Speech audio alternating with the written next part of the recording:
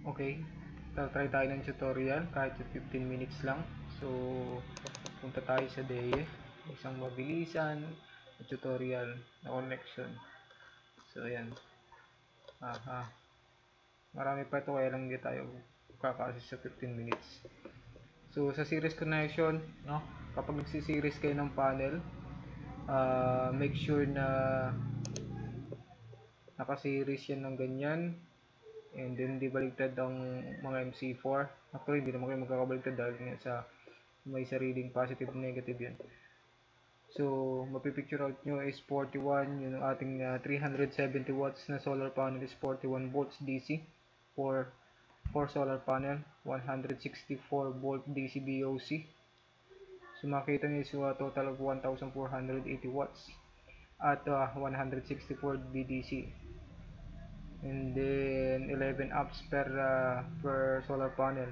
ISC nya so pag kukuha ka ng breaker size meron tayong 11.38 ampere times uh, 1.25 so lalabas na 14.2 maximum. So ang close enough na available sa market na breaker is 16 ampere no? So yung minimum startup ng inverter meron tayong 120 uh, volts DC, meron dyan iba 80 to 90 volts start up. Ang maximum voltage naman ng mga inverter is nasa 450 single PPT each. So, yun yung pinakamatataas niya. Sa breaker, uh, sa load side, sana makapture nyo to. So, 300, uh, 3,600 watts, single phase, 220 volts ang pagkuha po na, ng inyong breaker ano, lalabas sa 16 amperes. Parang arm slow lang yan. Ganun lang, i-wrap up lang natin. And then simple multiply by 1.25 lang yung current natin, no? And then lalabas kung ano nearest nyo o pinaka malapit doon, yun ang pwede nyo gamitin. Kung wala naman, uh, pwede rin. Kaya lang pag nag-maximum uh, uh, yung ating inverter is mamimit niya agad so magti-trip. So, make sure na may allowance yung ating uh, breaker na 1.25 so closely ang available natin sa market ulit is 20 ampere. Sa grid tie no? grid tie muna tayo. So sa grid tie meron siyang properly uh, itong mga panel na to. Meron siyang isolator breaker SPD syempre hindi pwedeng mawala yan. Yung proper size ng uh, PB wire mo Huwag, kung, huwag po kayong gagamit ng THHS wire dahil masyado siyang rumurupok pagdating ng panahon. Properly yung ating ano, huwag niyong putulin yan. Lahat kasi may mga MC4 yan sa likod. Huwag niyong puputulin yan.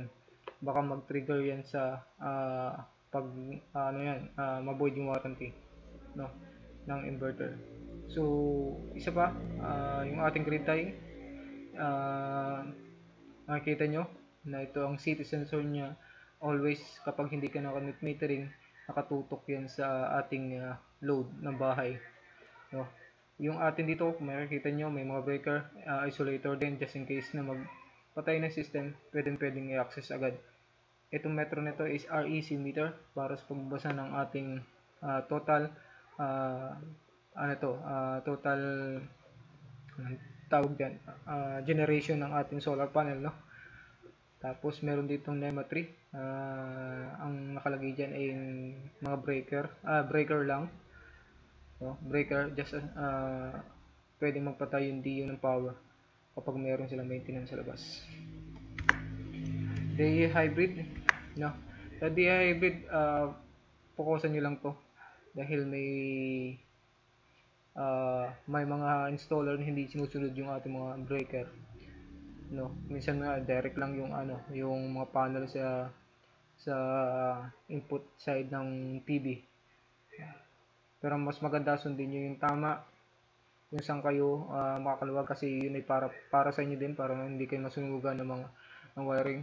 Hindi masira inverter niyo kasi ang mahalaga malaking presyo yung ating inverter no?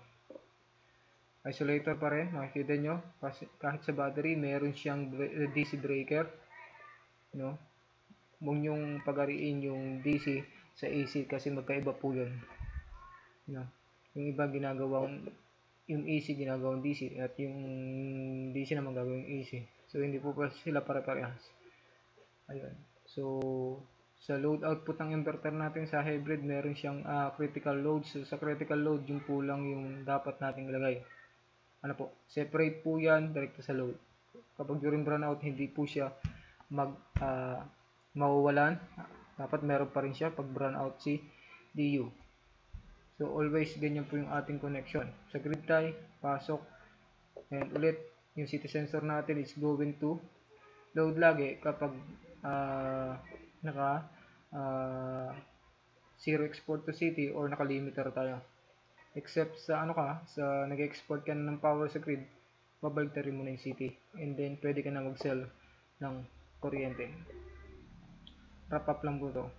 Sa hybrid natin, just in case may walang masyadong pinagbago din sa ibang setup natin, ah, nadagdag lang yung ATS. Sa ATS kasi, ah, external ATS, although may eh, internal ATS na siya, ah, pwede natin lagyan pa ng external ATS just in case na mag-maintenance tayo.